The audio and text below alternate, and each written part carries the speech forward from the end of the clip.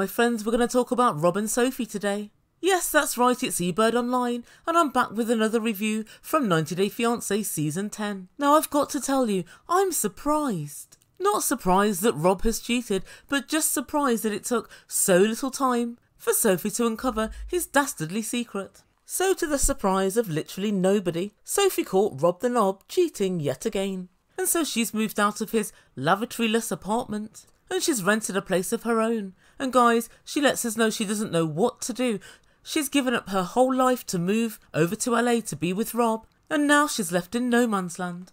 Do you want to hear my thoughts on the whole debacle? I thought as much. But before we do, I'd just like to say a massive thank you to everyone who's subscribed to my channel thus far. But if you've yet to do so, please consider subscribing. Make eBird a very happy eBird. Smash that big red button, mark subscribe. And please also don't forget to hit the notification bell. And if you know anybody else who would enjoy my videos please consider sharing on your social media. Thanks, guys. Right, so without further ado, I give you Rob and Sophie. Now, at this juncture, I'd normally say, I told you so, but there's absolutely no point because I told you just last week. The eBird needs no proof. If I think it, then it's so. So I'm going to start with the whole discourse about Sophie and Rob having children. And guys, just before we start my review, I've got to say, I've obviously watched the episode, and with the knowledge that Rob has cheated every single thing he says is an oh my god, with a side of are you for freaking real? And all washed down with a long tall glass of what's the actual fuck? And this next moment was just one of those moments. The couple were in the apartment and they were discussing the events of the night before, where obviously Sophie and Rob found out they both had different ideas about if they were going to have children or not. And guys, here's what Rob had to say. I did not get much sleep to be hit with the the uncertainty that we might not work out, it is earth shattering. Do you want to go outside? Uh, wait, what? The shady, sleazy actions you're undertaking right now are going to finish this relationship, never mind your shared values, dreams, and goals. And Rob told producers, Well, if Sophie doesn't want to have children, she needs to go out and find a man who wants the same thing as her. Uh, Rob, if you do want to have children, you need to go out and find a woman that wants the same as you. And I wish you all the best in finding somebody that wants to bring a toddler into your lavatorially challenged existence. I really don't fancy your chances. And so the couple go outside to chat. And Rob said, I realise this isn't up to me, but I just want to know where you stand with things. Sophie then said, It's not that I don't want to have kids, it's just that I want to have my life together first. I've only just arrived in LA and there's different things I want to do, so taking care of a, another person is the last thing I want to do right now. Yeah, with all due respect, Sophie, that wasn't the question. The question is quite simply this Do you ever want to have kids? Do you see it in your future? He's not asking, Are you ready right now? Good lord, Rob knows he's not ready. He doesn't even have an inside loo. His apartment is one room, and it looks like the back of a charity shop. You know, all the shit they can't sell, and they've got to incinerate. As far as I'm concerned, guys, Sophie's kind of dodging the question. And Rob said, I don't know what I'd do with my life if I didn't have a family. You didn't ask me anything, you walked away. The problem is pregnancy. It's not I'm against families, it's pregnancy. And you have not asked me, you still haven't even asked me one question about well, that. I'm trying to figure out what you're trying to say. Listening to these two go round in circles is like trying to hang glide through porridge. It's both a thankless and pointless task. Anyway, Sophie tells Rob about her fertility worries. And she said to him, I can't believe that you didn't ask. I told you I had a problem with my ovaries, and you didn't ask if I could still conceive.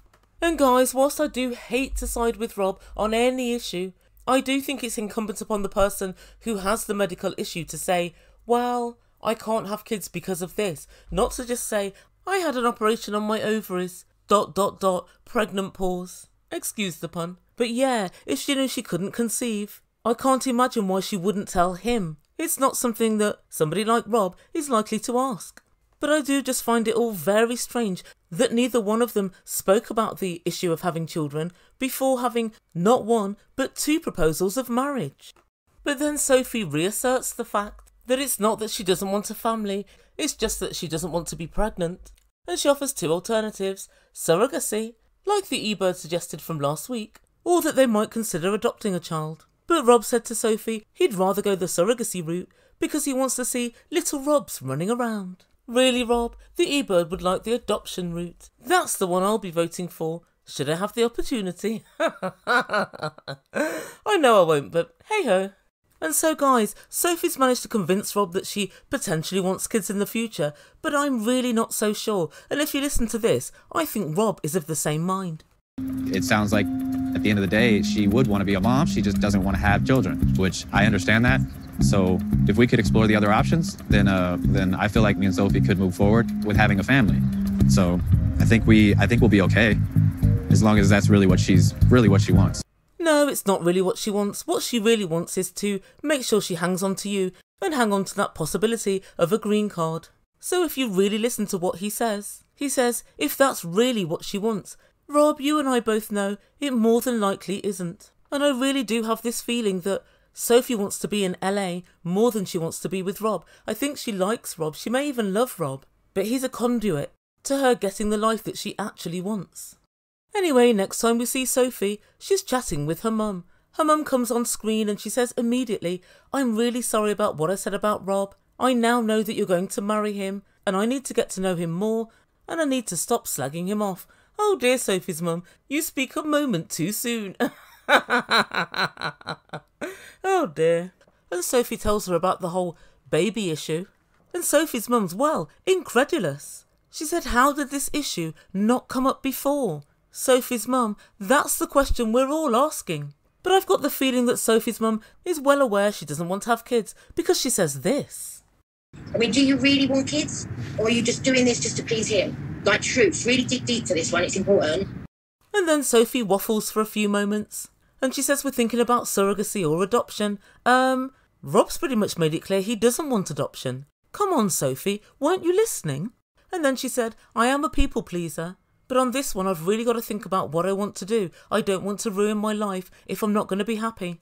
Well, then the eBird puts this to you get rid of Rob, get rid of him right away. He's the biggest life ruiner you're likely to come into contact with. And then Sophie's finally honest but not with Rob, with producers. And she says, I don't want to tell him no to having kids. Otherwise, he'll leave, but I really need to think what I want to do. Yes, Sophie, I guess you do. I would say it's possibly the most important decision when deciding to get married or when deciding to create a life with somebody. Unless, of course, you're creating a moment and not a life. And so the next time we see this couple, they're getting ready to go out to the club. Rob tells us he doesn't go clubbing very often, because when women hit on him, he might get into trouble. Uh, what? Rob, you only get into trouble if you act on those women hitting on you. You're in control of what you do, and it's not in anyone else's hands. Guys, what he's tacitly saying is he's unable to say no when it's offered to him on a plate. That's a problem, a big, big problem. And then Rob says he hasn't been to a club for many years because they're so expensive. Some of them are $50 to get in. Oh, Rob, Try being a girl. They're free to get in. it is out of order, but going out is so much cheaper as a woman. And so the couple arrive outside the club and they're meeting up with Tyree, Rob's friend, and Soraya, one of the friends that Sophie met on the dating stroke friends app. And so Tyree still has his, well, suspicions about Sophie and her motives. Good to see you. Good to see you finally. It's been forever. Yeah, eventually Yeah, she I was gonna know. have to see you. Why you been hiding? What you scared of? I'm super protective over Rob, so I just want to make sure that the people that are coming into his life are doing it for the right reasons. And he thinks she's shady because he saw her on a dating app, but she maintains she was only on there to find friends. But Tyree lets us know he's going to be picking her brain all night. So anyway, finally Soraya turns up and she confirms Sophie's story about how they met on this app. And so all four of them go into the club and they have a few shots. And straight away, Rob asks Soraya, So you met on the app? And Soraya confirms Sophie's story. And then Tyree asks, quite prophetically, Oh, so you guys are dating then? Sophie, are you gay? But Soraya said, No, we're not gay. We've both just used the app to make friends. And I have to hand it to Tyree, I kind of wanted not to like him. He seems so suspicious. But now watching him interact with the girls and I guess his suspicions are allayed for a moment. He does actually seem like a nice, genuine guy, and I believe that he had Rob's best interests at heart. I guess the whole friend dating app thing was real. She's, she's the proof. She is the proof. This is the proof right here. I apologize. I was wrong. See, I told you. I told you. And the bird loves a man who can admit he's wrong. Uh, yes, that's you, Tyree, and not you, Rob. Rob just looks down at his drink, and no apology is forthcoming. But then, guys, Sophie talks to producers and she tells them none of them know that I'm bi, but I can't just come out to three people right now. I was on the dating app to find friends, and that was genuine. But what happened next was, well, somewhat of a surprise. Guess what Sophie said to producers about being on that app? I'm still on that app to make friends because I don't know anyone out here. And there's there's bi women on the friend side. Like you can be bi and still or gay even and look for friends. So it's like I do have the option, I guess, of asking them. Well, as long as I don't do anything to disrespect them, it's like I feel like I should be allowed to do that. Uh, what? As long as you're respectful. How do you respectfully cheat? How do you respectfully ask another person if they're interested in creating a relationship with you when you're with Rob? And she's yet to tell Rob she's bi, and so I guess we don't know, but I'm pretty certain. In fact, no, I'm very certain he won't be happy about it. He won't be happy with her hitting up other women. Unless you have an open relationship, there is no respectful way to do that. Anyway, guys, it's the bit you've all been waiting for.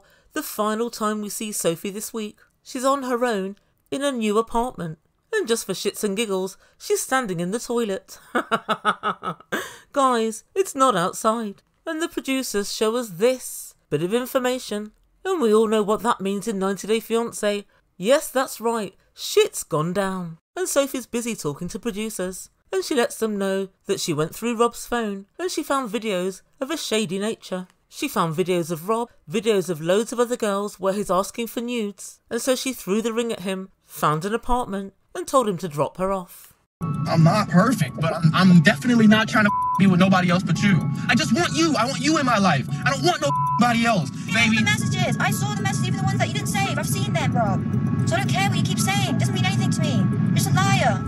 And Sophie said, In my opinion, it's cheating. You're asking for videos and nudes, you're jacking off to them, and the videos were disgusting, and there were absolutely loads of them, all different girls. Oh, don't worry, Sophie. According to Rob, they're just random girls.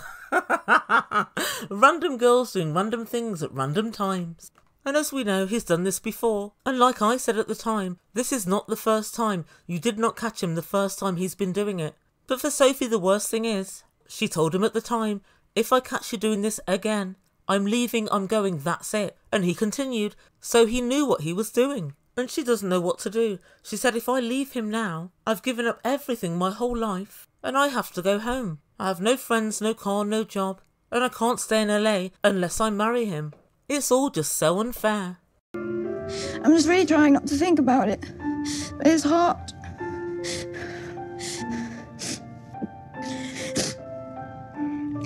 That's the thing, it's like it's not even that he's hurt me. It's that I don't what am I supposed to do now? And guys, poor Sophie dissolves into tears. And that's where we end things for this video. Guys, this video is becoming rather long, and as you can imagine I've got quite a lot to say about this couple, so I'm going to stop it there and make a separate video for this week's action.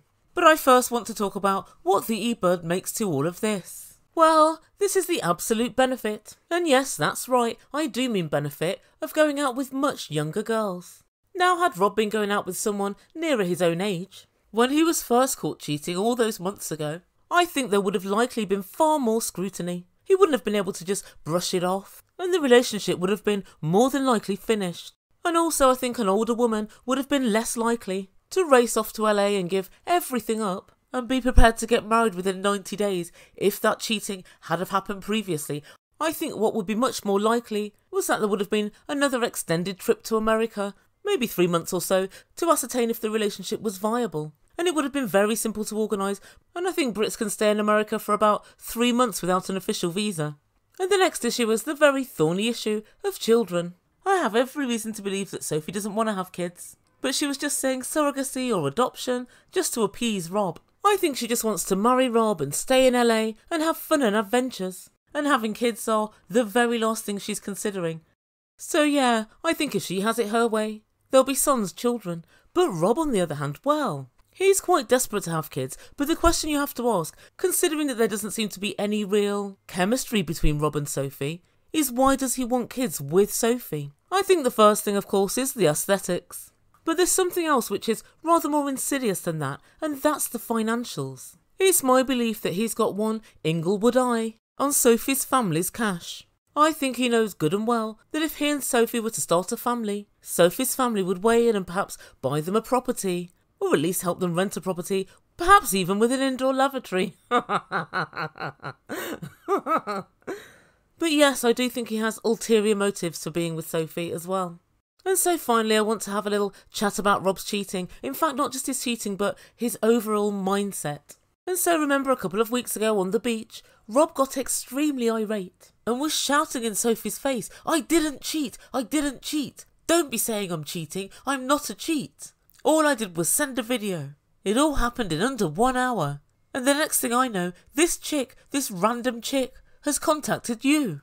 Now I knew at the time that it was absolutely inconceivable that that was the first time he'd ever done it, and he managed to get caught right away. And lo and behold, I was right. Because it would seem that this is Rob Singh, this is what he does. And he doesn't seem to think there's that much of a problem with it. He seems to think it's not quite cheating. But what this also demonstrates is his very, very low opinion of Sophie. He thinks he's got these smutty videos hidden where she'll never ever find them, and she found them in about 0.2 seconds.